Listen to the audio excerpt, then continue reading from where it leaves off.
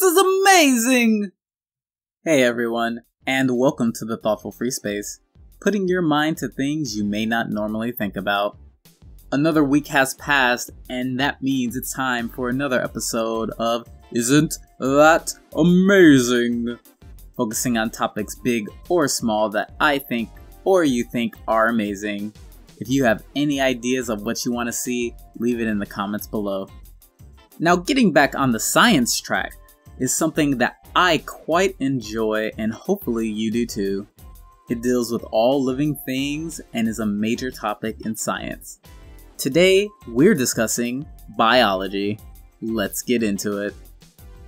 Now, this is my field. This is what I studied in college, and I love biology. There's so much involved in it. Biology is the study of life and living things. To go even further, that includes an organism's structure, evolution, life cycle, function, habitat. I could keep going all day, honestly. Like I explained in the first This is Amazing series episode involving science, biology can be split up into many different disciplines. Not only will I go into how biology is amazing, but I'll go through three different disciplines and maybe you'll find something you like. Starting off, as I have explained, biology encompasses all living things from the micro scale to the macro scale, otherwise known as from the small scale to the large scale. The study of life, though, is a little weird. The definition of life is that you have the capacity to grow, reproduce, have some kind of function and activity, as well as continual change before death. Many animals, plants, and even cells fit that description.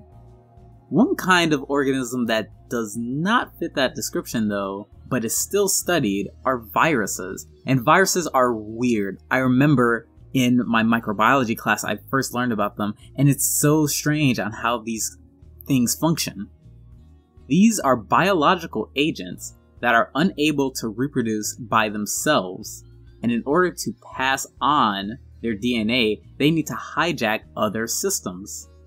This hijacking of normal cell function is what causes viruses to be able to spread and grow. Under the definition of life, that means these are not living, but they're still able to do this task. And it's such a strange thing. And viruses are not the only example of this. There are other things like virions. But before I go into a rant, let's bring it back. It begs so many questions, but this is just one of the many interesting things you can find in this topic.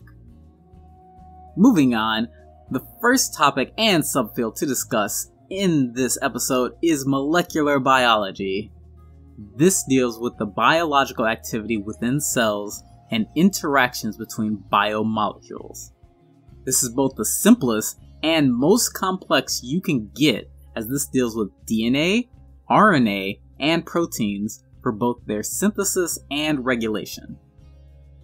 This field is so important not only because it deals with all of these things, but it tells the story of how genetic information is passed on.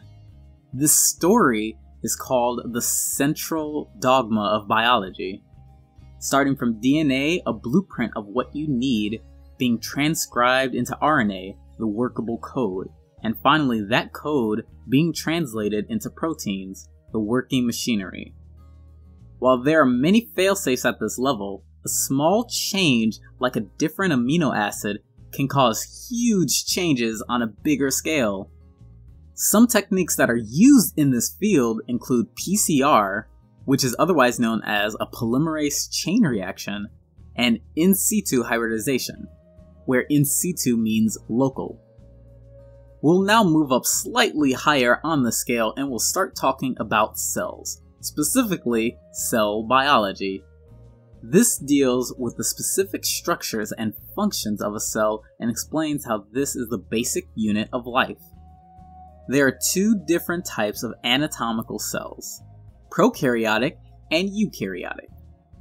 Cell biology focuses on the eukaryotic cell, as humans are eukaryotes, or multi celled organisms. This is an important field as if a cell doesn't function correctly, problems can arise. One example is if a cell's growth cycle goes completely out of control and runs rampant. This is one of the ways cancer can start to occur. Techniques common in cellular work include growing cell culture and staining. Moving up again in the scale, we can now start to talk about developmental biology.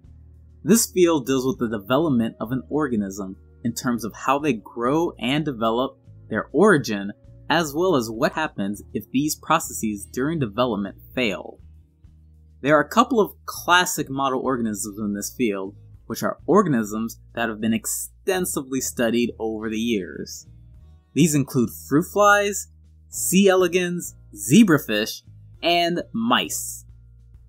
Some people really dislike animal testing, but if that kind of testing didn't get done, we would most likely be behind in a lot of scientific progress.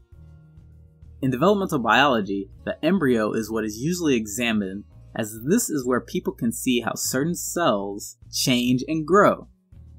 While I've been focused on animals, this can also be done with plants.